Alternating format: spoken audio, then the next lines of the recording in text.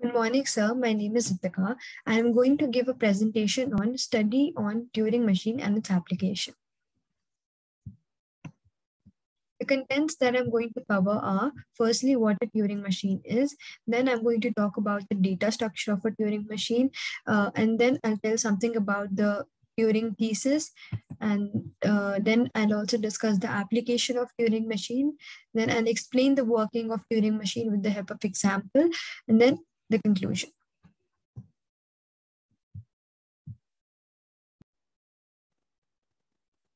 In this slide, I'm going to tell what a Turing machine is. So it was invented by Alan Turing in the year 1936. And this machine is considered more powerful than the push-down automata and the finite automata. And the reasons will be discussed uh, in the further slides. Also, this class of, uh, the class of languages that this machine accepts is recursively enumerable languages.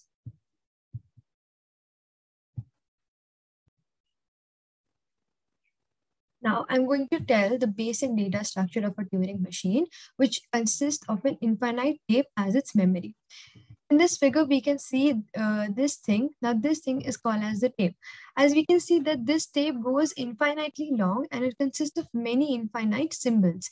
And it also consists of the blanks. So that is why we can say that it is a better memory device. Now, the alphabet set could consist of 0, 1, AB or any symbol, and but the, uh, the blank does not belong to this alphabet set.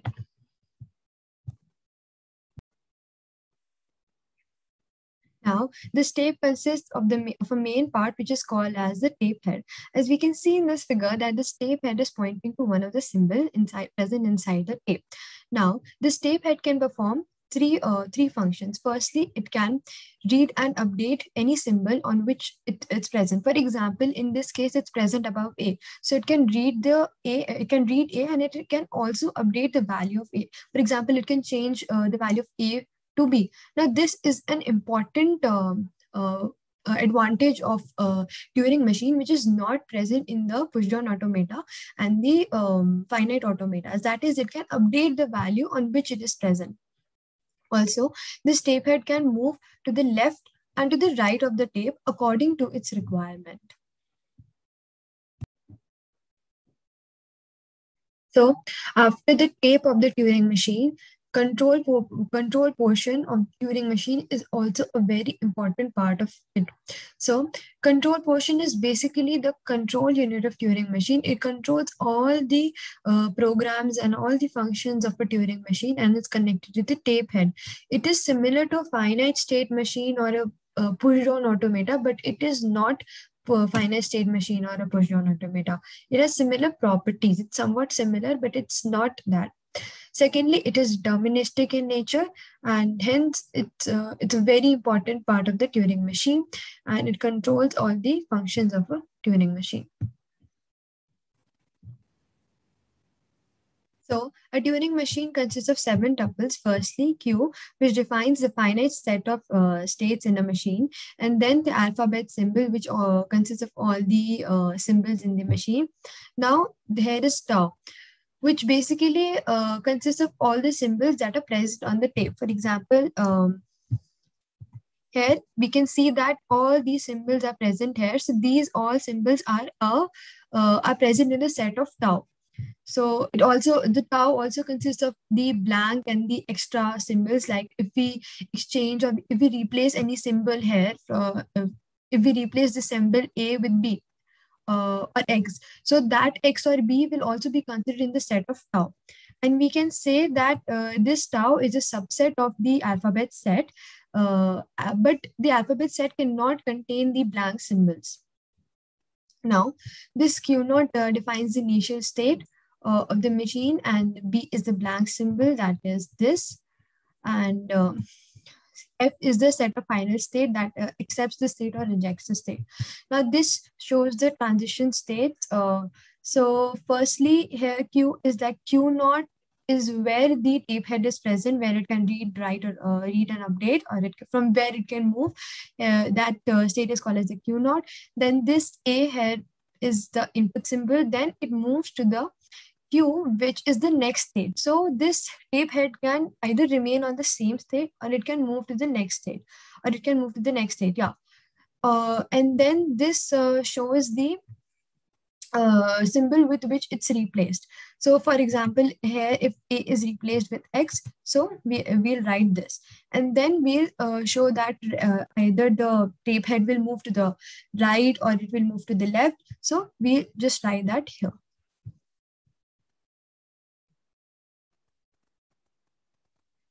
Now, in the case of, as we know, in the case of a standard uh, Turing machine, corresponding to one input, we have uh, only one choice. Like either that tape head can move to the right or that tape head can move to the left.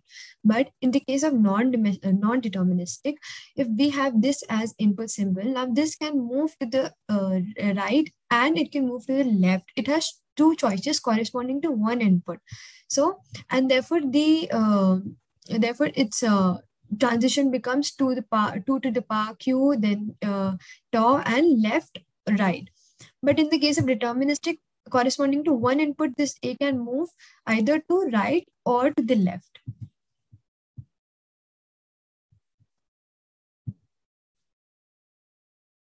So this slide basically states the uh, Turing thesis. So it states that any computation can be carried out by mechanical means that can be uh, performed by some Turing machine. So this statement really proves that how powerful a Turing machine is as compared to the push-down automata and the uh, finite automata. And we have two arguments that support these theses. That is, firstly, anything that can be done on an existing digital computer can also be done on Turing machines. This basically means that if anything is possible on any existing digital computer right now, that thing can also be processed and done on the Turing machine. Secondly, for the problems for which an algorithm can be written, Turing machine can also be designed for the same.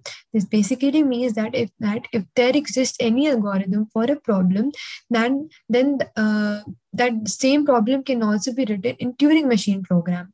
So all these uh, both of these statements support the thesis and thus prove how the uh, how powerful the uh, Turing machine is. So now I'm going to discuss some of the applications of Turing machine.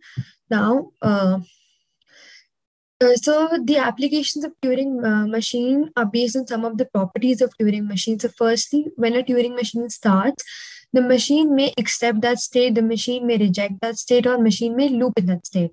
So by looping means that the by looping we mean that the uh, machine does not stop, it does not halt.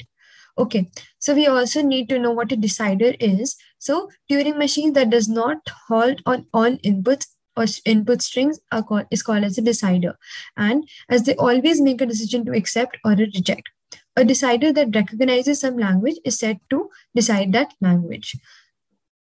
So these were the properties on which the application of uh, the Turing machine is based. So moving on to the first application.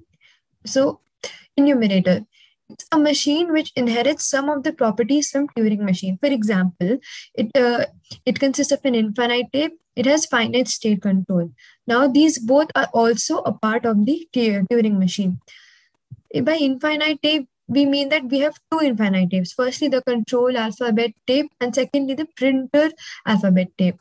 Now, we also have a work tape um, uh, so this work tape is initially empty and then it produces a string which is printed by the printer.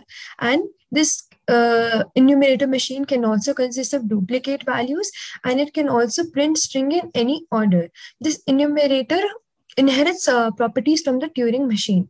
So we can say that this enumerator is a uh, is an application of the Turing machine.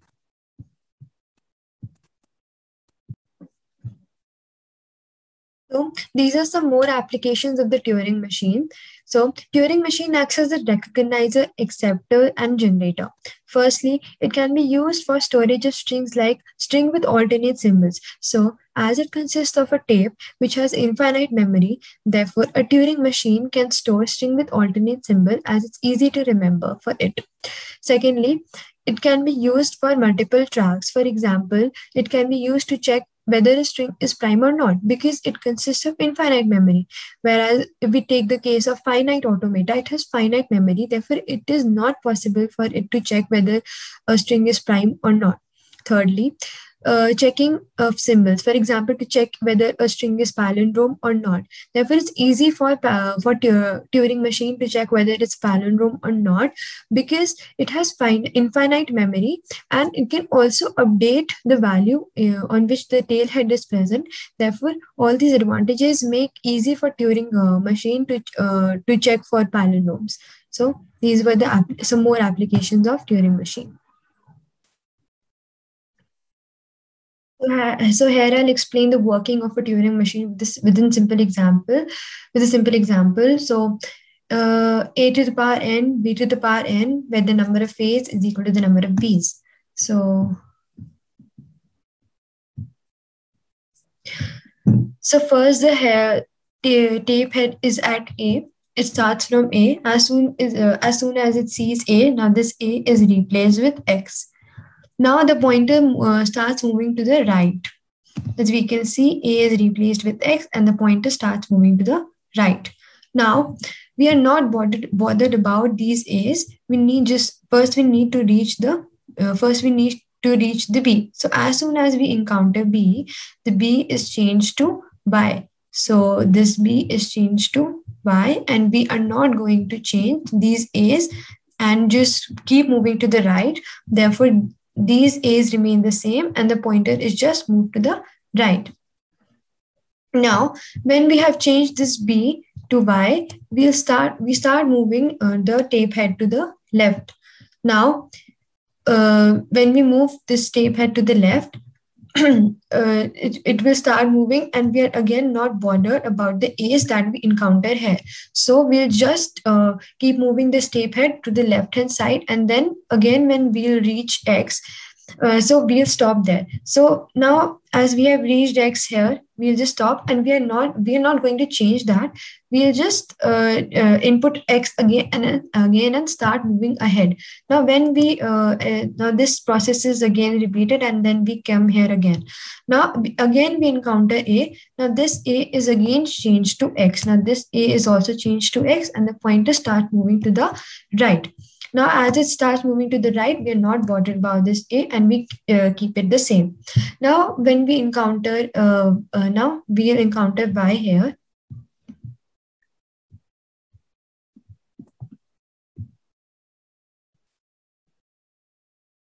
Now, when we'll encounter y here, we will not change it, this y and we'll instruct the tape head to move to the right. So, uh,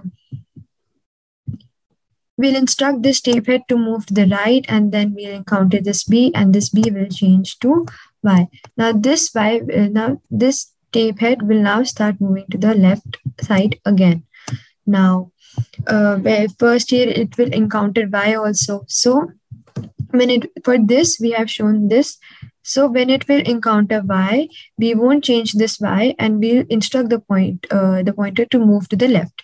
Now, uh, then it will move to the left, and when it will, and, and when it will uh, see another x, it will stop, and then it will, uh, will come here, and then it will instruct the tail head to the tape head to move ahead, which is this, and then when it will encounter A, it will again be changed to X. Now this will be also changed to X and this will start moving to the right again. Now again, we will not be bothered by this Y and we just keep moving forward until we reach this Y, uh, this B and this will also be changed to Y. And then we, uh, and this, then this pointer will reach again here. Now, here after x, it will encounter y. So,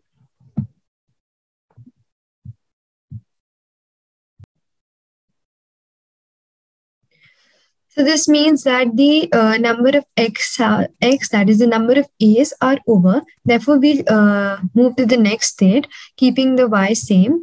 And therefore, we'll just instruct the tape head to keep moving on to the right. And uh, so So the Y will remain same and the tape head will keep moving on to the right until it reaches the blank. And then uh, from blank, it can go either to right or it can go either to the left because it doesn't matter as we have received our string that is three A's. So uh, as the number of A's is three, then the number of B's is also three. So as we have received our, uh, our string, so the blank, uh, the, the tape head can now move to the left or the right. And this is the design for this A to the power N and B to the power N string.